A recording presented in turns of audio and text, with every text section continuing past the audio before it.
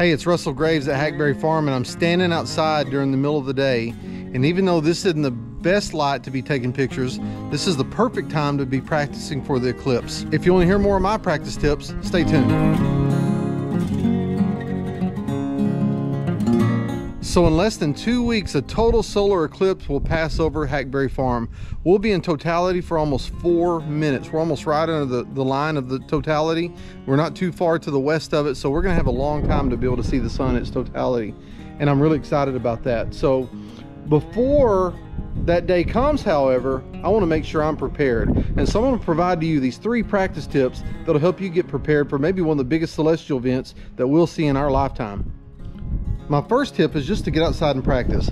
Come April 8th, we'll be outside getting ready to watch this, this phenomenal celestial event. I'll be excited, you'll be excited, you'll all be excited. And so don't let that excitement get in your way in terms of knowing what to do when the time comes. We've got one shot at this, and so you need to make sure you take advantage of it. So get outside and practice, practice early, practice often, practice as much as you can, and commit every step you're going to take to muscle memory before the day gets there. Tip number two is to standardize your setup. And what I mean by that is every time you set up, make sure your tripod knob's in the same place. Make sure you've got the same camera setup you're gonna be using that day. Make sure your settings are right. Make sure you've got everything set right before you even practice. And if you'll standardize that whole procedure, when the time comes, it'll be like automatic for you. You'll be able to set up, be able to go through the whole settings, be able to get everything set up right, and you won't run the chance of missing the total eclipse. Tip number three, really kind of part of tip number two, and this is standardizing your setup. When you go outside to practice, practice at the time of day when the eclipse will be overhead. And the reason why, if you practice with the sun low on the horizon in the morning or in the evening, the sun's really moving at a different angle than it will be during the day.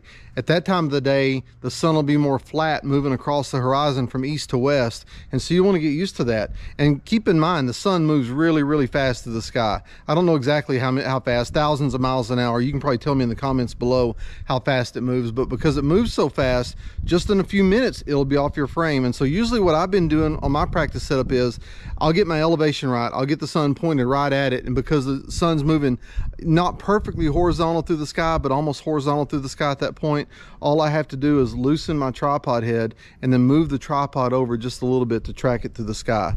And then that brings up another point within point three. Take plenty of pictures of the sun. Understand how your camera is going to react with the filter on it.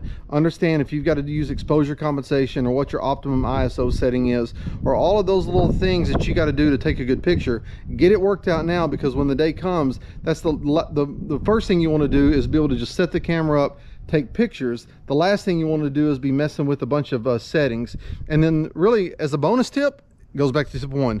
Practice practice often. Get outside practice it every day. Every day you can see the sun get out and practice your setup because when the day comes and the eclipse starts to happen you'll be glad you did Hey, join me back every week where you'll have a brand new video full of photo tips. And if you want a checklist that'll help you get ready for that big day, go to hackberryfarmtexas.com. When the pop-up appears on the opening screen, put in your email address. You'll get a free nature photography checklist that'll help you not only with the eclipse, but also with any other kind of shoot you go out to do in nature.